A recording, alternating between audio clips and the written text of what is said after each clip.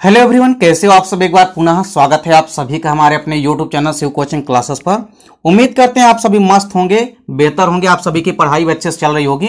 आज की इस वीडियो में यहाँ पे हम क्लास ट्वेल्थ बायोलॉजी एनसीईआरटी देखिए चैप्टर टू हमारा चल रहा है, यानी कि ह्यूमन रिप्रोडक्शन या मानव जनन हमारा चैप्टर चल रहा है।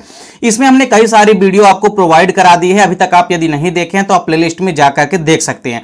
आज की इस वीडियो में यहाँ पे हम तीन ऐसे यहाँ पे छोटे छोटे क्वेश्चन यानी कि जो दो अंकों वाले इंपॉर्टेंट क्वेश्चन है, वो आपको आज की इस वीडियो में यहाँ पे कवर कराने वाले हैं।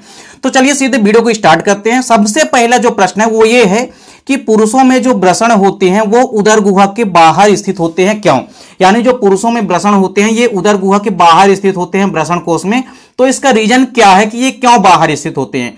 तो ये क्वेश्चन अक्सर आपके एग्ज़ाम में पूछा जाता है, चाहे वो आपका त्रैमासिक एग्ज़ाम हो, चाहे वो आपका अर्धवार्षिक एग्ज़ाम हो, चाहे वो आपका एनुअल या वार्षिक एग्ज़ाम हो। हर एक एग्ज़ाम के लिए यह क्वेश्चन काफ़ी इंपॉर्टेंट है।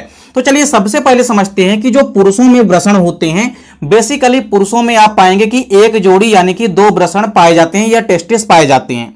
तो जो पुरुषों में ब्रषण पाए जाते हैं ये उदर गुहा के बाहर कहाँ स्थित होते हैं? ब्रषण कोष में स्थित होते हैं।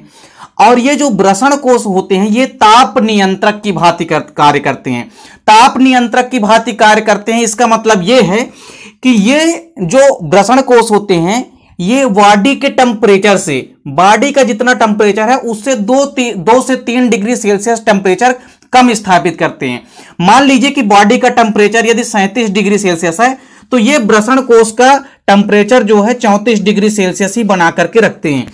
तो कुल मिलाकर के जो ब्रषण होते हैं, ये ब्रषण कोष का जो तापमान होता है, उसको बॉडी के तापमान से, जितना बॉडी का तापमान होगा, उससे दो से तीन डिग्री सेल्सियस तापमान कम बना करके रखते हैं। और ये जो दो से तीन डिग्री सेल्सियस कम तापमान होता है, यह शुक्राणुओं के परिपक्वन के लिए तथा शुक्राणुओं के विकास के लिए आवश्यक माना जाता है। कहने का मतलब यह है कि यदि बॉडी के टेम्परेचर से दो से तीन डिग्री टेम्परेचर यदि कम होगा तो यह टेम्परेचर अनुकूल होता है शुक्राणुओं के विकास के लिए, अर्थात शुक्राणुओं के परिपक्वन होने के लिए। तो कुल मिलाकर के आपको बताना है कि पुरुषों में एक जोड़ी ब्रषण उदर गुहा के बाहर ब्रषण कोष में स्थित होते हैं। और ये बेसिकली ये शुक्राणुओं को परिपक्वन होने के लिए दो से तीन डिग्री सेल्सियस कम तापमान स्थापित करते हैं। जिस कारण से पुरुष जो है ब्रषण में आप पाएँगे कि पुरुषों में जो ब्रषण होते हैं, ये उदर गुहा के बाहर स्थित होते हैं। तो पहले क्वेश्चन का आंसर क्या है कि पहला क्वेश्चन है कि पुरुषों में ब्रषण उदर गुहा के बाहर स्थित क्यों होते हैं? तो आपको बताना पड़ेगा कि पुरुषों में एक जोड़ी ब्रषण जो होते हैं, वो उदर गुहा के बाहर ब्रषण कोष में स्थित होते हैं। और ब्रषण कोष जो होता है, यह शरीर के तापमान से दो से तीन डिग्री सेल्सियस तापमान कम स्थापित करता है, जो कि शुक्राणुओं के परिपक्वन के लिए आवश्यक माना जाता है। चलिए, दूसरा यहाँ पे इंपोर्टेंट क्वेश्चन क्या है? दूसरा क्वेश्चन यह है कि यदि लीडिंग कोशिकाएँ मान लीजिए नष्ट हो जाती है तो नर के लैंगिक लक्षणों पर क्या प्रभाव पड़ेगा? देखिए, आप सभी को पता है कि जो लीडिंग कोशिकाएँ होती है, या बेसिकली आप लीडिंग कोशिकाओं में आप देखेंगे कि लीडिंग कोशिकाएँ कहाँ पाई जाती है? तो ये लीडिंग कोशिकाएँ ब्रषण के अंदर ही पाई जाती है। तो ब्रषण के अंदर जो लीडिंग कोशिकाएँ पाई जाती है, सबसे पहले तो इसमें से अक्सर क्वेश्चन पूछा जाता है कि लीडिंग कोशिकाएँ कहाँ पाई जाती है। तो आपको यह तो पता होगा कि लीडिंग कोशिका कहाँ पाई जाती है। ये ब्रषण के अंदर पाई जाती है। इनको हम अंतराली कोशिकाएँ भी कहते हैं। तो लीडिंग या अंतराली कोशिकाएँ जो होती है, यह ब्रषण के अंदर पाई जाती हैं अर्थात टेस्टिस के अंदर पाई जाती हैं। तो मानव में आप पाएँगे कि मानव नर के जो ब्रषण होते हैं ब्रषणों में लीडिंग कोशिकाएँ उपस्थित होती है। और ये लीडिंग कोशिकाएँ जो होती है, यह बेसिकली लिंग से संबंधित एक हार्मोन्स का श्रावण करती हैं। और इन्हीं कोशिकाओं के प्रभाव से ही बालकों में यौन प्रारंभ होता है। मतलब यदि लीडिंग कोशिकाएँ नहीं होगी तो ये बेसिकली सेक्स हार्मोन्स या आप कह सकते हैं कि लिंग हार्मोन्स का श्रावण नहीं कर पाएँगी। और पुरुषों में जो यौवनावस्था है, अर्थात जो बालकों में यौन प्रारंभ होता है, वो यौन प्रारंभ नहीं हो पाएगा। क्यों? क्योंकि ये लीडिंग कोशिकाएँ एक विशेष प्रकार के टेस्टोस्टेरॉन हार्मोन्स का श्रावण करती है, जो कि बेसिकली लिंग हार्मोन्स माना जाता है।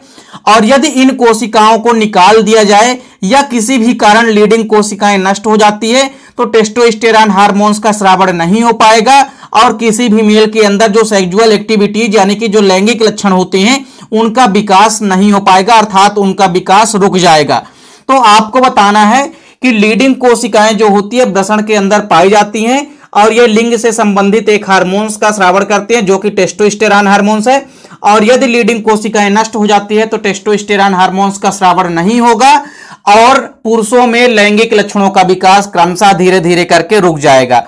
इसके बाद देखिए, एक आखिरी क्वेश्चन अक्सर आपके एग्ज़ाम में पूछा जाता है कि अंड जनन की प्रक्रिया में शामिल हार्मोन्स। अब आप कहेंगे कि सर, यहाँ पे केवल अंड जनन ही क्या है? तो आप यहाँ पे चाहे आपसे अंड जनन में शामिल हार्मोन्सों के नाम पूछे, या आपसे शुक्र जनन की प्रक्रिया में शामिल हार्मोन्सों के नाम पूछे। दोनों का आंसर आपको सेम ही बताना है, क्योंकि चाहे वो अंड जनन की प्रोसेस हो, चाहे वो शुक्राणु जनन की प्रोसेस हो, दोनों ही प्रोसेस में ये दोनों ही हार्मोन्स कारगर या एक्टिव होते हैं। सबसे पहले तो आपको याद रखना है, एक होता है एलएच हार्मोन्स, इसको हम कहते हैं ल्यूटिनाइजिंग हार्मोन्स, और दूसरा होता है एफएसएच हार्मोन्स, यानी जिसको हम कहते हैं फोलिकल स्टिमुलेटिंग हार्मोन्स यानी प्रेरक पुटिका हार्मोन्स तो कुल मिलाकर के ये दोनों हार्मोन्स ऐसे हार्मोन्स हैं जो कि किसी भी मेल या फीमेल के अंदर जो अंड जनन या शुक्र जनन की प्रक्रिया होगी, उसका हार्मोनल कंट्रोल करते हैं, यानी कि उस पर नियंत्रण रखते हैं। तो दोनों हार्मोन्सों के नाम आपको याद रखना है। यहाँ पे देखिए, ये जो चारों क्वेश्चन बन रहे हैं, इनको आपको अच्छे से तैयार करना है, क्योंकि डेफिनेट रूप से कोई ना कोई क्वेश्चन आपके अभी त्रैमासिक एग्ज़ाम में ही ज़रूर देखने को मिलेंगे। तो उम्मीद करता हूँ वीडियो पसंद आई होगी। वीडियो अच्छी लगे तो लाइक और कमेंट ज़रूर कीजिए। साथ ही साथ दोस्तों के बीच ज़्यादा से ज़्यादा वीडियो को शेयर कीजिए। चैनल पर यदि नए हैं तो चैनल को सब्सक्राइब अवश्य कर लें। साथ ही साथ वेल आइकन प्रेस कर लें। मिलते हैं नेक्स्ट वीडियो में। तब तक के लिए जय हिंद बंदे मातरम।